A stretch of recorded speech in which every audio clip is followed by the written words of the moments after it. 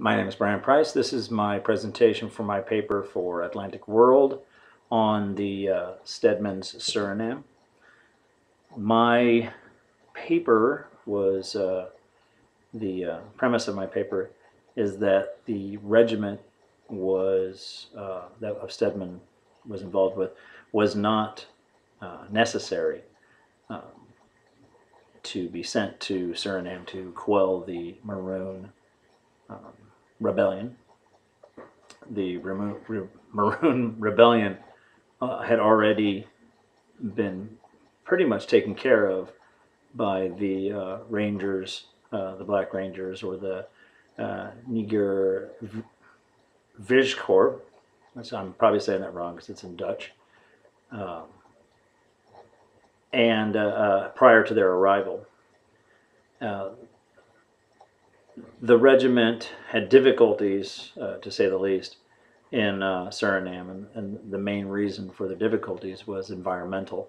Uh, is the premise of my paper that yes, that there were difficulties uh, um, with tactics. Uh, they had difficulties with the government uh, of the colony itself, having differences with the, the colonel um, between the governor of Suriname, Jean, was it uh, and uh, the colonel of the regiment, um, which was, uh, his name escapes me, I'll get back to it. Uh, oh, there it is, Henry uh, Forgo, For, Forgoit. Again, in a, a language that I'm obviously not pronouncing properly.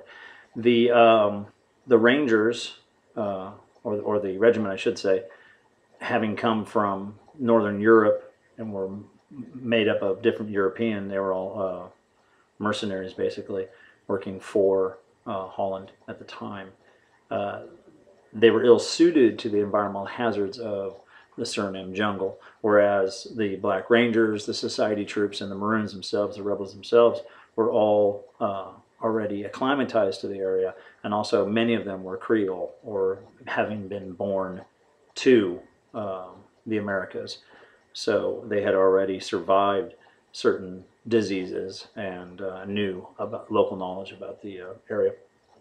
So to go into that um, in my paper, um, I'll give you a little bit of backstory on the historiography of this particular uh, study of, of, of what I'm talking about.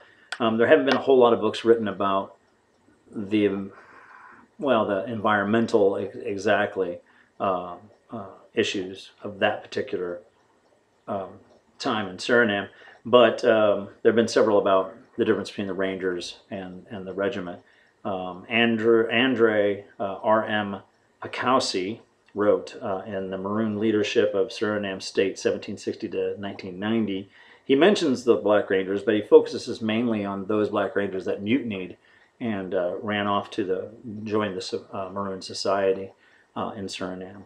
And uh, his main focus of his book is is talking about the Maroons uh, and how they succeeded against the the col- colonial uh, government, not uh, the Black Rangers, and how they succeeded against the Maroons. So um, that was helpful in, in, in, some aspects for my paper, but uh, it was uh, the focus was not where I wanted to go. So then Wim S. M. Hoogbergen wrote uh, uh, the Boni Maroon Wars in Suriname, and he kind of goes the opposite way from Pakowski, where Pakowski talks about the Maroon soldiers as heroes and doesn't mention much about the Black Rangers fighting against the Maroon people. It's mostly the mercenaries of, of Europe, is what the way he puts it.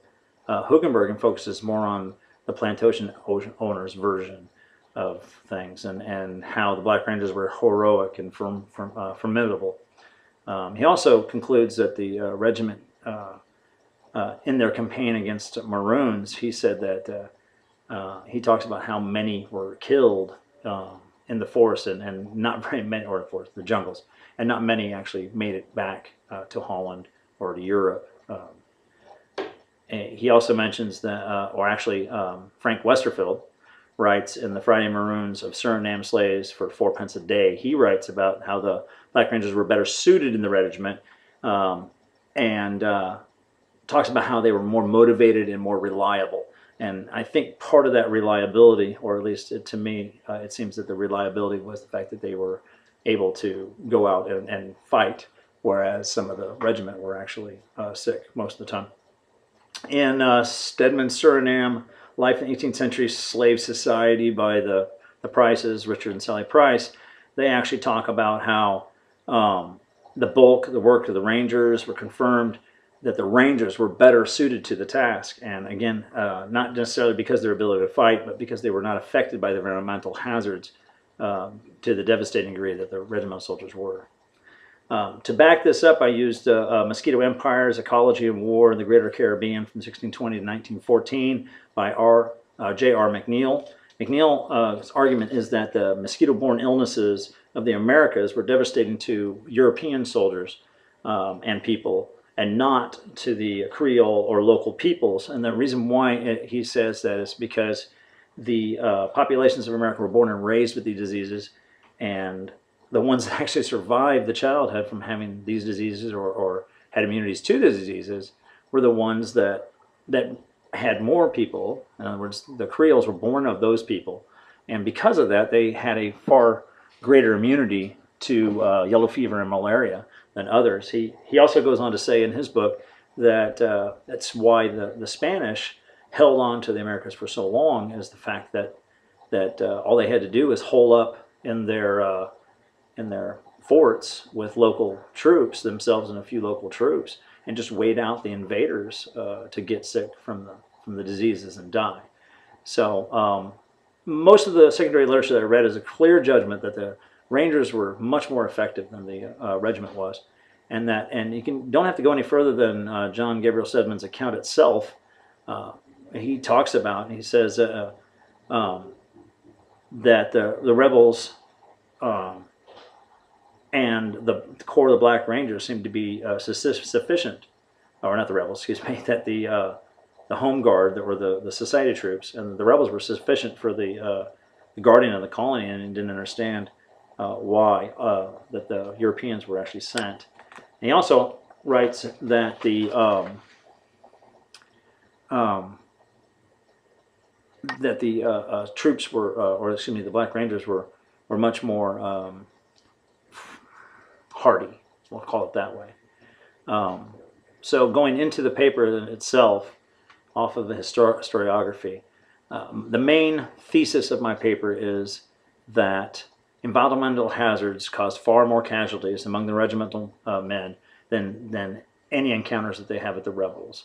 It's due to the climate of hot and humid weather, made worse by the type of gear that they're wearing, and the fact that they were ill prepared for any uh, um, jungle environment problems like uh, the flora and the fauna, the insects, and mostly the diseases of, of the area. That's what it's really hampered them. So I guess my thesis would, be, would nail it down would be that the regiment uh, was taken down or was not as effective as the Rangers due to the fact that they didn't have any local knowledge, that they were not resistant to the diseases, that's the main one, and that they uh, um, weren't prepared for the heat, nor did they try to acclimatize.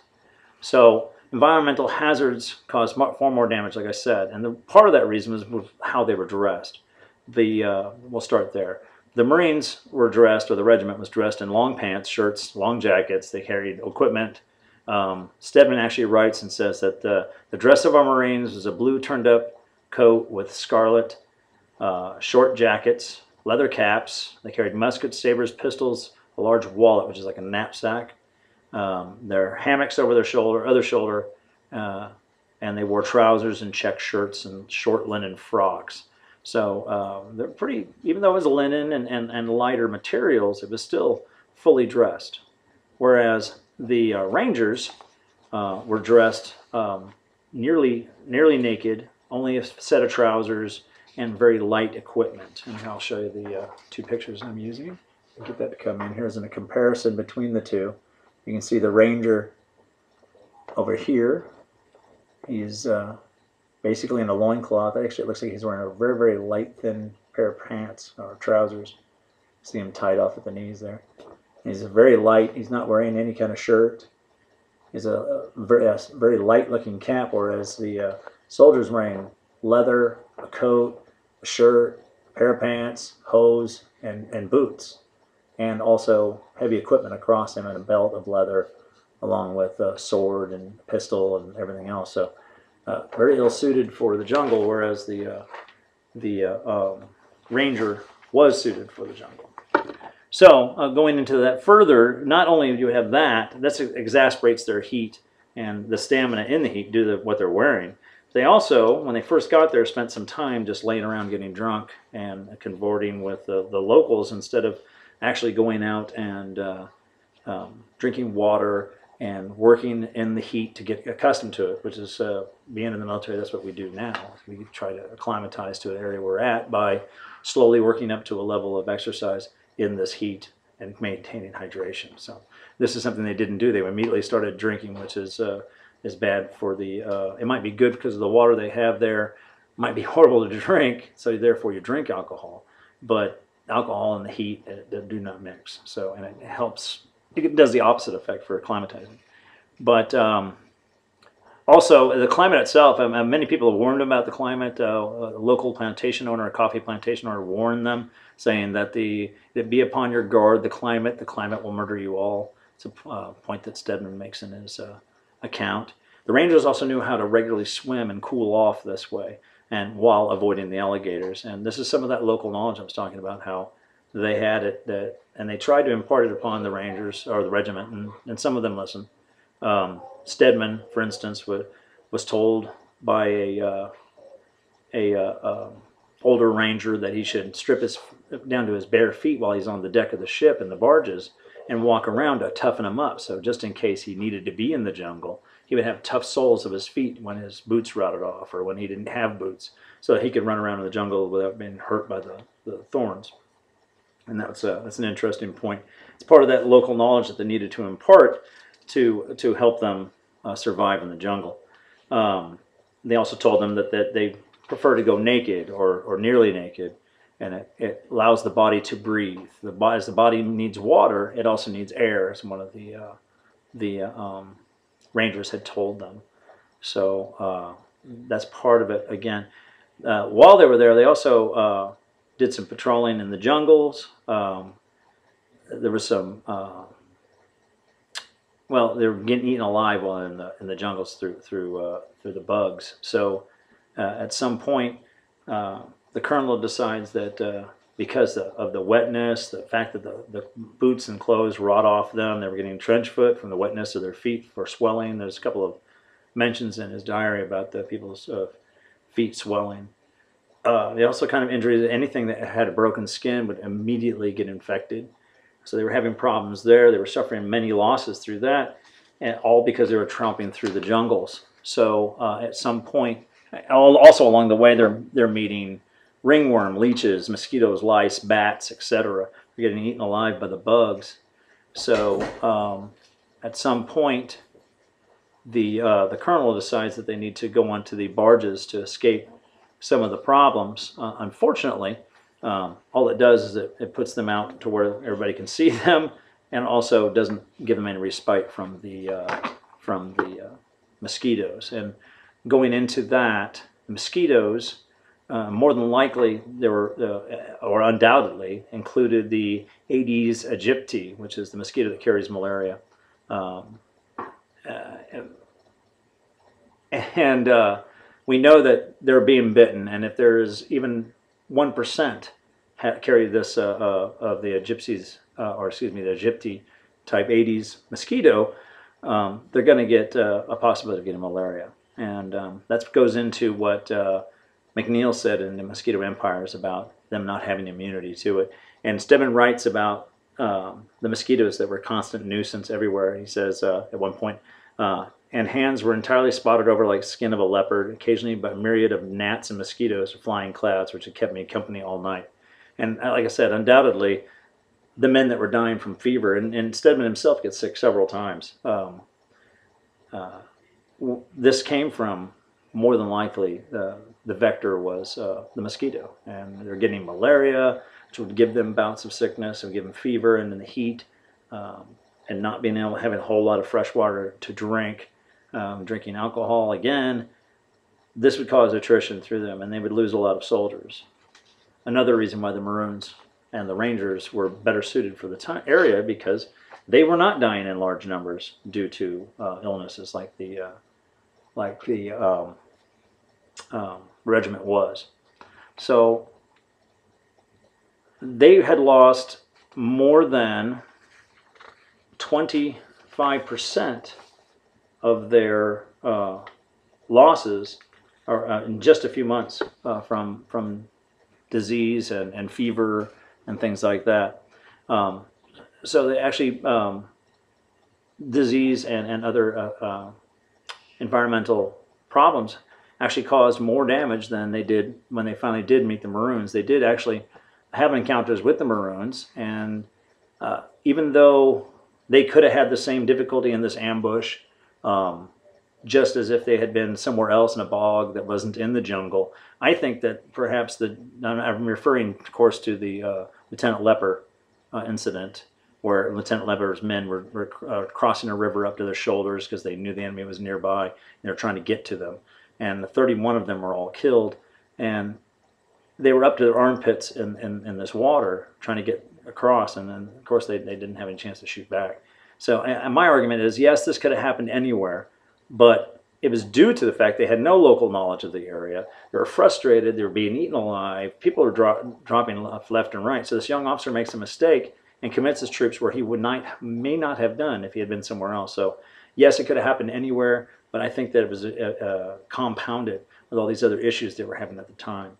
So um, so yeah, but um, they go to uh, like I said, they went onto the barges, and that did not help. They still kept getting bitten by insects, so they just don't have as many of the environmental issues now that they're on the water. But they still getting bitten by alive by the insects, and they're still losing men. And uh, after only a couple of months on the water, Stedman's force of 65 gets reduced at only 20 left due to people dying. He said, uh, and he describes his men at one point as a band of scarecrows that could have disgraced a garden or field of any farmer in England.